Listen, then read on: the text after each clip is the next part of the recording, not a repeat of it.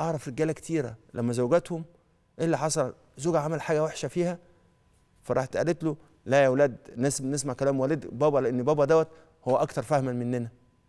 فجي بعد كده قال لها على فكرة أنا شكر ليكي شكر ليكي اللي إحنا إن عدم النضج اللي أنا كنت بكلمك بيه من شوية أنت جنبتيه. أنا ممتن ليكي جدا جدا ده فضل. فإزاي حد هيتعامل بالرحمة والخير والجمال مش هيستر العيوب؟ وكل أقول لكم حاجة سر كل ما سترت عيب شريك حياتك كل ما خرج أحسن ما فيه. ليه؟ لأن لما بيتستر القبيح بندي مساحة عشان يظهر المليح. عشان كده لازم نعمل كده. خامس حاجة نعملها نمتنع عن أي شكل من أشكال العنف وخاصة العنف اللفظي أو الجسدي لأن العنف ده بيدمر العلاقات بيفسدها ويجعل التعامل سيء جدا. مفيش حد في رجاله بقى وفي ستات. يعمل إيه؟ يعمل فضل ويجي يكب عليه إيه؟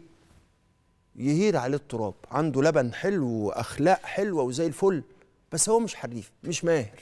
ما عندوش مهارة الفضل ده. بعد ما يعمل الفضل ده يقول كلمة كده ملهاش لازمة. فيجيب التراب ويحطه ويحطه كله على اللبن. أو العنف اللفظي والعنف الجسدي زي كده. فيجي يقول يجي يقول لها طب افتكري لي حاجة حلوة. ما أنت اللي بوظت الدنيا.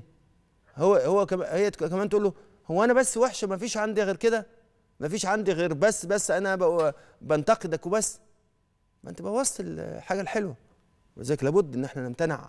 على فكرة الانتقاد والشكوى في بعض الانتقاد والشكوى واللوم بيدخل في بعض الأحيان في في العنف. فنتوقف عن ده.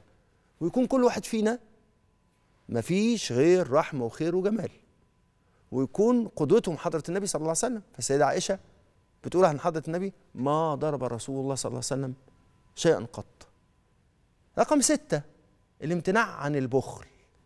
آه طبعا واحد يقول لي بقى طب أنا أجيب منين؟ ما أنا معيش فلوس. لا لا لا البخل حاجة أوسع بكتير من الفلوس.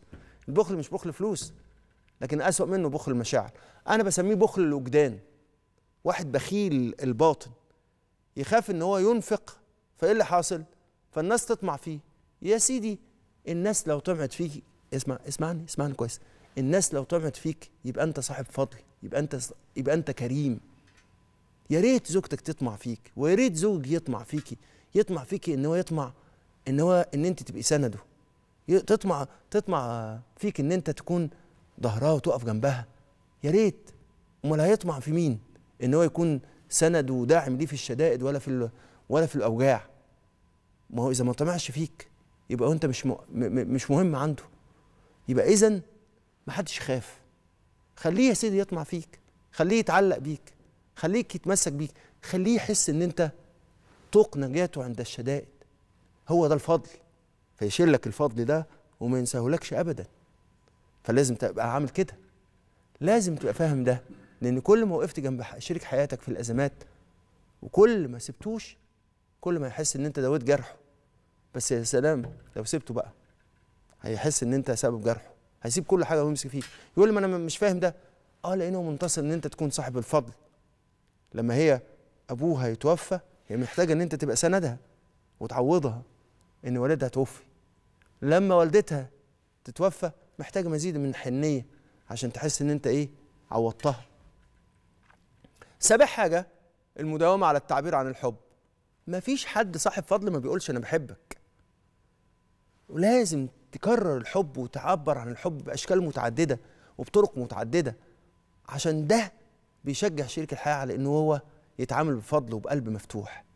يا سادة اوعوا تنسوا إن الفضل ده هو اللي بيفتح عليكم أبواب الفضل من السماء. عايزين تحسوا بجمال مدد الله في قوله تعالى وجعل بينكم مودة ورحمة خليكم أصحاب فضل.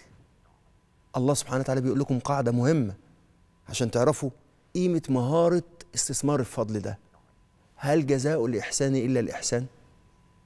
هل جزاء إن أنت تقول كلمة حلوة فتملى قلب زوجتك؟ هل جزاء إن أنت تبصي بصة حانية لزوجك فتملى قلب جوزك بالرحمة والخير والجمال؟ إلا إن ربنا سبحانه وتعالى يغرق قلب كل واحد فيكم في نعمته ويخليه يشوف جنة الدنيا قبل جنة الآخرة. عايزين تدخلوا الجنة؟ قبل ما تدخلوا الجنة وربنا يعرفكم جمال الجنة. قبل ما تدخلوها في الآخرة كونوا أصحاب فضل. الفضل ما بين الزوجين أوسع باب لدخول الجنتين.